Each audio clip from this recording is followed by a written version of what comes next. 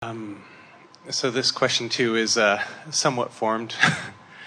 um, I notice some places in my life and in the lives of the people I surround myself with uh, where desire is complete and I have nothing in the way of it. And then I notice some places where uh, I'm in the way of it. um, and I could ask would, the question would, yeah. Would, would you rather have a complete desire or an incomplete desire? Ah.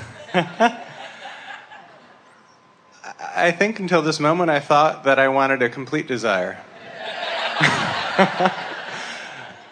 but I think an incomplete desire. Because it is the moving forward, it is the coming into alignment. In other words, when you are an eternal being, you are eternally incomplete. Yes. And sometimes humans think, well, but I can move from desire to desire to desire, so I'll get it done, and then I'll get it done again, and then I'll get it done again. And we say, well, that's one way of looking at it, but still, it's on your way, on your way, on your way. Yeah. And when you give in to that, there's something so satisfying about the eternal incompletion because it means eternal expansion, and therefore the potential even more joy and more and more, which is really the mantra of the universe. Mm-hmm. Um, so I'll ask this. Um, so when I find myself stuck from this place of, oh wow, having an incomplete desire is a beautiful thing. Well, let's look at it this way. If incomplete desire is something that you accept, then the word stuck doesn't exist in your vocabulary. Got it. Stuck is only the byproduct of the flawed premise of completion. Right? But it does feel fun. It feels better to be in motion. Yeah. But but we, we really want you to uh, stay there just for a moment and feel the dissolving of stuckness in the giving in to the idea of never being complete. Can't you just feel it sort of fall away? Mm-hmm. In other, it, it's sort of like saying, "You can't fire me, I quit." it's like saying, "I can't be stuck because I'm never done." It, it, it's like giving yourself the, the benefit of knowledge. And I feel there's something else here, and I don't know what it is. Well, you started to say something, and we interrupted you. You were on your way to it. Can you go back to that? Um. Well, what is be, what the feeling of stuck is awareness of desire and no current knowledge of what to do. In other words, it's it's a the feeling of stuck has to do with applying the idea of action. Yeah. So when I'm stuck, I don't know what to do, or the things I'm trying to do aren't working. Yeah.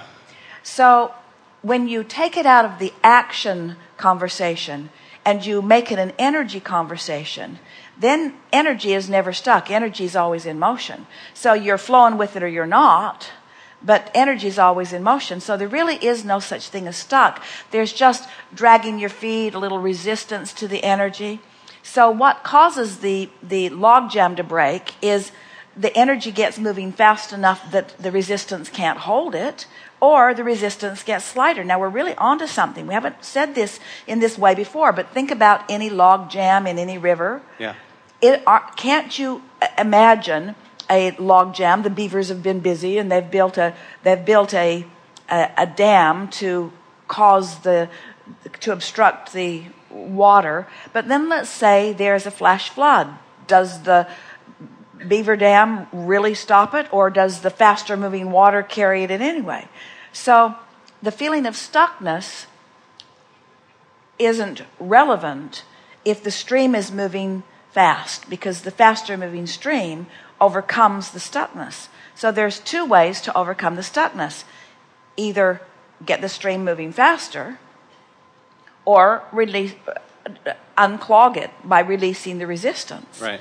and just by the nature of living life those things are happening all the time.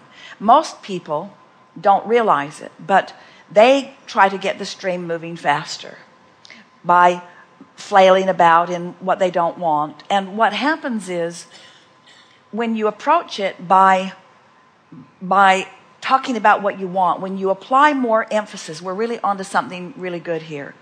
When you try harder in the moment of feeling stuck.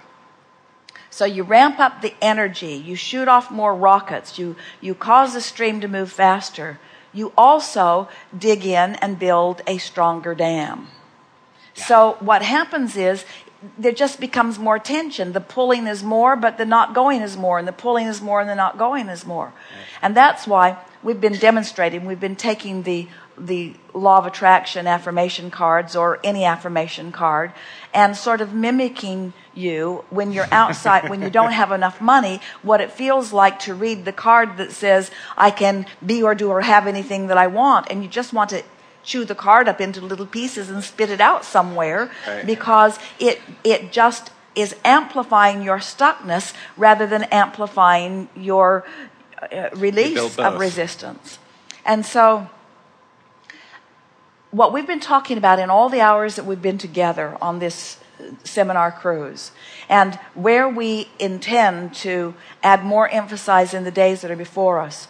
If if instead of applying effort to the equation you apply non-effort instead of applying more thinking to the equation you apply less thinking. In other words by the deconstructing by the bringing down by the backing off from the specifics.